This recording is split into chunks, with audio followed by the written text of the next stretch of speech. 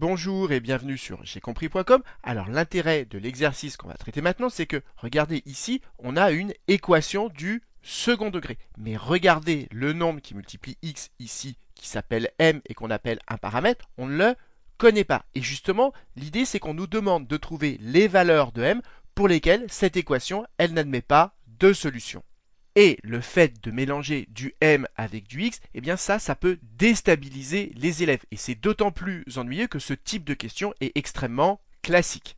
Donc maintenant, appuyez sur pause, cherchez bien cet exercice et seulement après avoir bien cherché, regardez la suite de la vidéo. Donc allons-y, corrigeons cet exercice. Et nous, on veut savoir quand est-ce que cette équation, quand est-ce que cette équation n'a pas de solution. Et vous devez savoir que quand on a une équation, ici c'est bien une équation du second degré de la forme ax carré plus bx plus c égale 0, pour savoir combien cette équation a de solutions, on calcule le discriminant qu'on note souvent delta équivaut b carré moins 4 ac.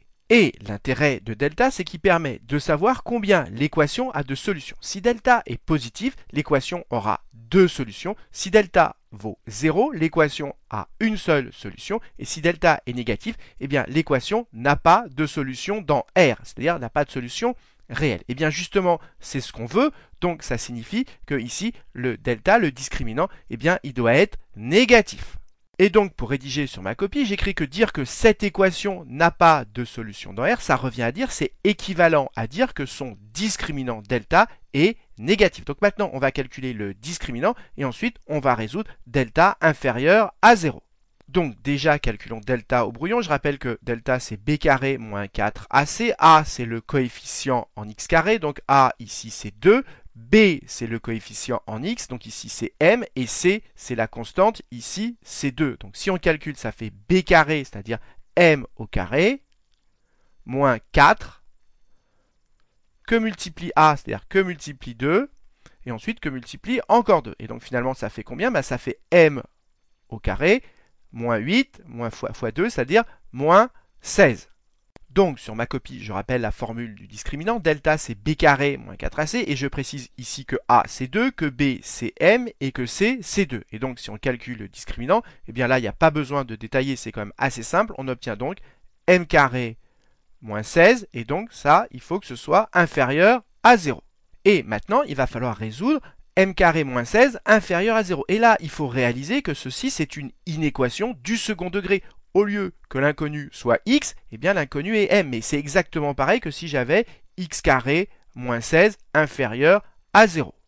Et comment on résout une inéquation du second degré? Eh bien déjà, on commence par chercher euh, quand ceci est égal à 0. Donc on va déjà résoudre m carré moins 16 est égal à 0, c'est-à-dire m carré est égal à 16. Ben, quand est-ce qu'un carré est égal à 16 Tout simplement quand m égale 4 ou moins 4. Ça, on peut le voir quand même sans calcul.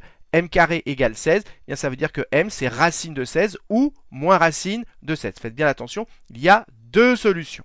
Maintenant, il faut avoir conscience que si on traçait la courbe qui correspond à m carré moins 16, ça serait comme x carré moins 16, c'est une parabole. Et comme le coefficient devant m carré ici, c'est 1, c'est une fois m carré et qu'il est positif, eh bien la parabole est tournée vers le haut. Mais comme on sait que m carré moins 16, ça s'annule en 4 et en moins 4, ça veut dire que cette parabole, elle va couper, elle va couper l'axe des abscisses en moins 4, en moins 4 et en 4.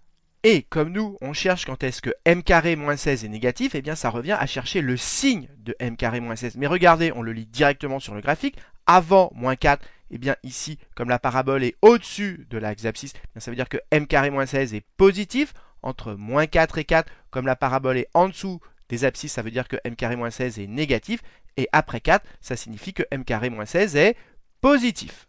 Et comme nous, on veut que ce soit négatif, eh bien ça veut dire qu'il faut choisir m entre moins 4 et 4, et maintenant il n'y a plus qu'à le rédiger. Et donc pour rédiger, retenez simplement que quand on cherche quand est-ce que quelque chose est négatif, eh bien on pense à faire le tableau de signe de ce quelque chose. Donc ici, on va faire le tableau de signe de m carré moins 16. Donc m varie de moins l'infini à plus l'infini. On a vu ici que m carré moins 16 s'annule en moins 4 et en 4. Donc ici, je mets que ça fait 0. Ici, la courbe de m carré moins 16, c'est une parabole. Comme a, le coefficient en m carré ici, eh bien c'est 1 c'est 1 m carré, et eh bien 1 c'est positif, eh bien ça veut dire que cette parabole, elle est tournée vers le haut, et donc ça veut dire qu'elle est d'abord positive, ensuite négative, et ensuite positive. Et comme nous, on veut que ce soit négatif, eh bien on prendra les valeurs de m eh bien, entre moins 4 et 4. Et comme on veut que ce soit strictement négatif, eh bien ce sera entre moins 4 et 4 exclus. Et donc j'écris que les valeurs de m qui répondent à la question, c'est-à-dire pour lesquelles cette équation n'a pas de solution, eh bien ce sont tous les nombres entre moins 4 et 4. Donc maintenant qu'on a traité notre problème, c'est important de comprendre graphiquement ce qui se passe pour vérifier qu'on ne s'est pas trompé. Donc regardez qu'est-ce que je vais faire? D'abord je vais créer un nombre m avec GeoGebra. Donc ici je crée un curseur que j'appelle m. Voilà. Et maintenant, je vais représenter cette fonction 2x carré plus mx plus 2. Donc j'y vais, j'écris f de x égale 2x au carré plus m fois x plus 2. Et déjà, regardez, ici on a la parabole lorsque m vaut 1. Et qu'est-ce qu'on observe? Eh bien, la parabole ne coupe pas l'axe des abscisses. Ça veut dire que l'équation ici eh bien, n'a pas deux solutions. Et ça, ça nous rassure parce que quand on prend m entre moins 4 et 4, eh bien, il ne doit pas y avoir de solution. Donc pour m égale 1 en particulier, il ne doit pas y avoir de solution. Et maintenant, vous l'avez compris, je vais faire varier m. Et regardez ce qui se passe. À 4 pile, ça touche. Et quand je fais augmenter m, eh bien regardez, à partir de 4, quand je fais augmenter m, eh bien ici j'ai deux solutions. Pour m égale 4, j'ai exactement une solution. Et avant, ici, je n'ai pas deux solutions. Et si on regarde ce qui se passe pour m négatif, regardez, regardez, à moins 4, et bien vous l'avez compris, en effet, on aura une solution. Donc à partir de moins 4, on a une solution. Et si on descend en dessous, on se retrouve avec deux solutions. Ça correspond exactement à ce qu'on a trouvé par le calcul. Si on prend m entre moins 4 et 4 exclus, on n'a aucune solution. Et si on le prend à l'extérieur de moins 4, 4, eh bien on aura des solutions. Donc voilà, cette vidéo est maintenant terminée. J'espère qu'elle vous a permis de bien comprendre comment traiter un problème avec des équations du second degré, mais avec un paramètre. Et comme d'habitude, si vous avez apprécié cette vidéo, n'hésitez pas à la partager et à la liker.